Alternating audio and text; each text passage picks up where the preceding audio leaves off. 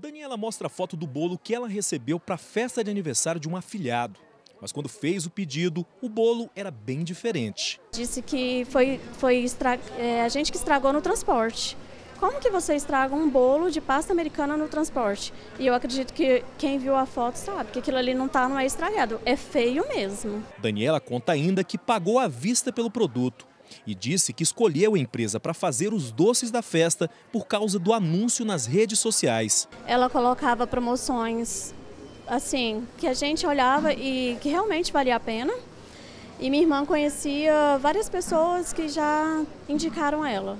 Porém, a gente fez na confiança. Na página, os produtos oferecidos são bonitos e bem apresentados, mas as clientes contam que quando eles chegam são completamente diferentes. Alguns bolos chegam quebrados e os doces são duros. Cíntia conta que fez vários pedidos com a mesma confeitaria, mas no último ela não recebeu o produto. Não recebi a mercadoria e nem o dinheiro de volta. Ela se propôs a devolver o meu dinheiro. Ela até disse que eu tinha cancelado a festa, mas eu não cancelei. Eu só pedi que ela fizesse melhor no aniversário do meu filho, do, porque do meu sobrinho veio feio. Diante da insatisfação, Cíntia disse que tentou negociar para receber o dinheiro de volta. Mas, segundo ela, a dona da empresa fez ameaças. Nesse áudio gravado, ela e a dona da confeitaria discutem falou que ele era polícia. Por, isso significa, você está falando para mim que ele é polícia, o que, que tem? Ele vai me matar? Você sabe o que, que ele faz na outra escala dele? Não quero saber o que, que eu tenho então, a ver com a vida do seu marido. Pois é. Eu só tô falando porque eu falei que na sua casa e você falou, vai que o meu marido é polícia. na delegacia, sua roceira idiota. Cíntia e Daniela procuraram o PROCON estadual para denunciar a empresa de doces. A superintendente disse que até agora seis clientes fizeram as denúncias e que ela vai instaurar um processo administrativo para investigar o caso. E nós instauramos esse processo para multar a empresa. Além do, do processo administrativo, a nossa fiscalização também vai até o local para constatar, verificar as condições que estão sendo manipulados os alimentos. As vítimas também levaram até o Procon essas fotos, que mostram bolos no chão e muita sujeira onde os doces são feitos.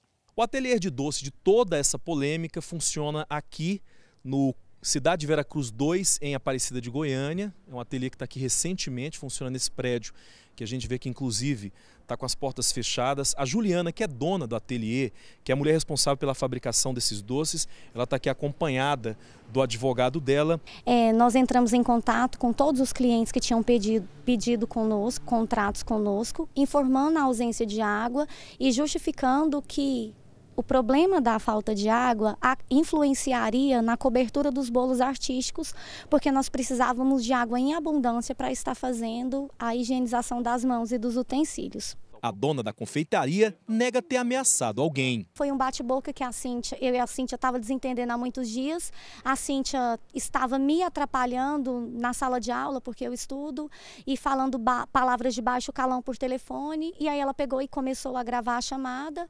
E ela pegou e começou a falar alguns desaforos para mim e eu a tratei da mesma forma. Sobre os bolos no chão, Juliana justifica que não sabe quem tirou as fotos e nem quem colocou os bolos ali. Essas fotos eu não sei assim como, quem foi que fez a postagem disso, mas deve ter sido algum freelance que estava com a gente que usou de má fé. A nossa equipe tentou entrar no ateliê para mostrar a situação lá dentro, mas a dona não autorizou. O advogado da empresa disse que vai entrar com um processo contra as clientes. Ela com certeza é a, mais, a maior lesada nesse, nesse evento todo.